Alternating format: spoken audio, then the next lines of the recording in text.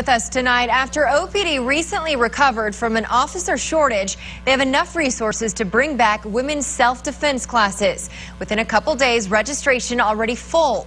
Local 2's Dawn Log tells us why there's such a high demand this time around. Dawn? Stephanie, I met a woman who wanted to take the class, but learned she can't because it filled quicker than usual. Despite that, she's excited the training is coming back to Odessa, not just for the skills, but the confidence it allows women to gain in their own strength.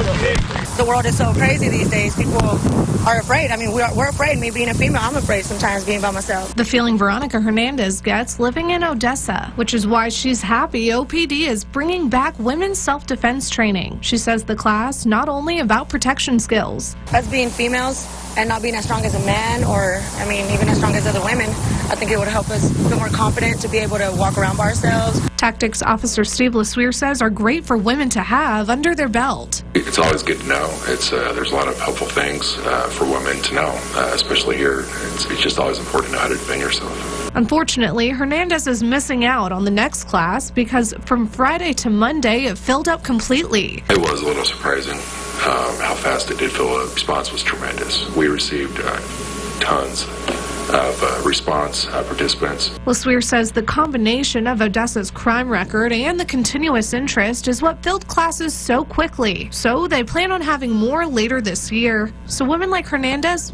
aren't left out. I think it's awesome. I think everybody should try it out. I'm going to try it out.